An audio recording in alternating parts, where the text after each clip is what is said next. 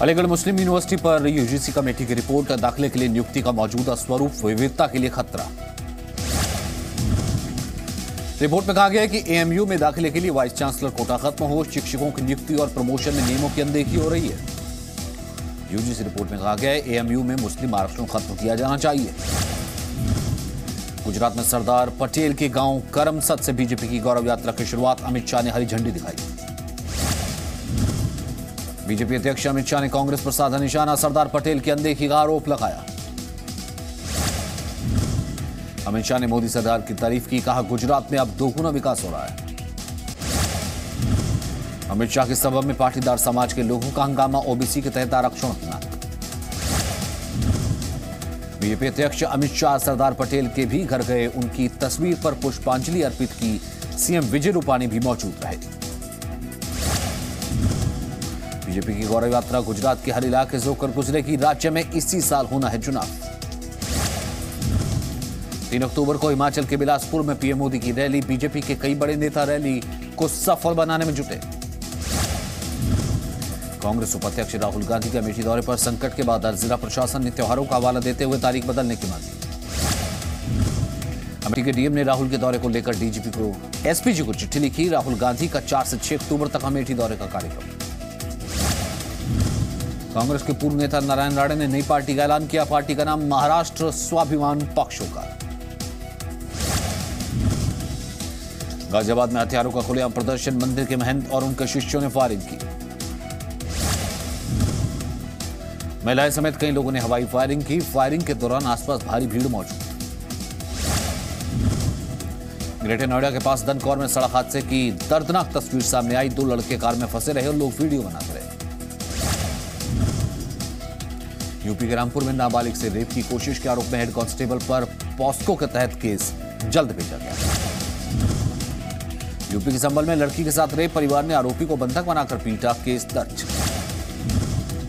गुरुग्राम में triple murder की गुत्थी सुलझी, कातिल बहू की साजिश में शामिल था नौकर, आरोपी गिरफ़्तार। कोलकाता के एक अस्पताल में बंदूक की नोक पर इलाज, बदमाशों ने कर्मचारियों से मारपीट करके फरार। बिहार के मुजफ्फरपुर में 14 साल की युवती से गैंगरेप चार लोगों के खिलाफ मामला दर्ज। बिहार के बघा में चोरी के आरोप में दो बच्चों के साथ मारपीट, गाँव वालों ने पेड़ से बांधकर पिटाई की। बिहार के बांका में ज़मीन विवाद को लेकर दो गुटों में झड़प, मारपीट में दस लोग घायल, दो लोगों की हालत गंभीर। बिहार के छपरा में पुलिस ने मंदिर में घुसकर पुजारी की पिटाई की, नाराज़ लोगों का हंगामा दोषी पुलिस वालों पर कार्रवाई की मांग। बिहार के बेतिया में पति पत्नी पर तेजाब से हमला, बदमाश, फरार। पुलिस आरोपी की तलाश में लगी। राजस्थान के अलवर में डबल मर्डर का खुलासा। एक महिला समेत दो आरोपी गिरफ़्तार। संपत्ति विवाद की वजह से हत्या हुई थी। राजस्थान के सीकर में ऑटो पार्ट्स की दुकान में चोरी। नकदी समेत लाखों का सामान लेकर फरार।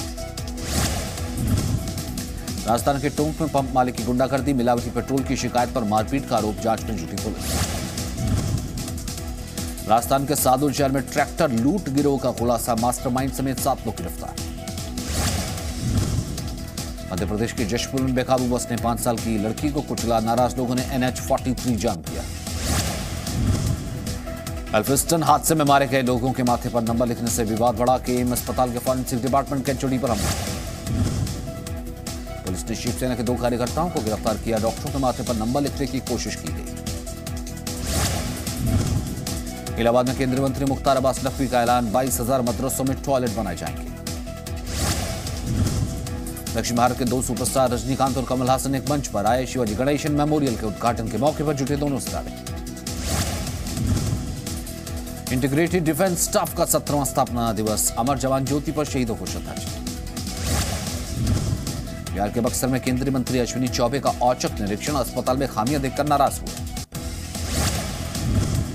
गया। में जन अधिकार पार्टी के जिला अध्यक्ष भवानी सिंह की गुंडागर्दी, नशे में दौड़ाई, कार बाल बाल बचे लोग। गाजियाबाद के इंद्रापुरा में बेकाबू कार ने लोगों को कुचला, चपेट में आने से एक बच्चे की मौत।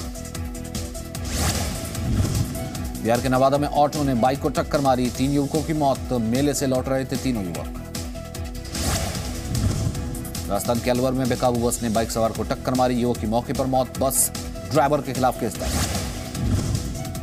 हरियाणा के रोहतक में टैक्स चोरी के खिलाफ अभियान, दूसरे राज्यों से आने वाले 50 लग्जरी बसों में चेकिंग चेतावनी देकर बस को छोड़ा। लोहरदगा में कंटेनर की चपेट में आने से युवक की मौत, मुआवजे की मांग को लेकर के नाराज़ लोगों ने सड़क जाम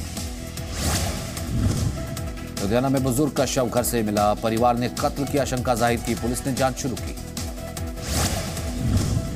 बोकारो में सड़क हादसे में युवक की मौत, नाराज़ लोगों का हंगामा, पुलिस ने प्रदर्शनकारियों पर लाठियाँ बरसाई। मध्य प्रदेश के बड़वानी में बेटी के पैदा होने पर परिवार में जश्न ढोल बजाकर स्वागत किया गया। राजस्थान के आमेर में विदेशी पर्यटक, पर्यटकों की भीड़ उमड़ी। आमेर घाटी से महल तक कई गाड़ियाँ फंसी, लोग पैदल चलने को मजबूर।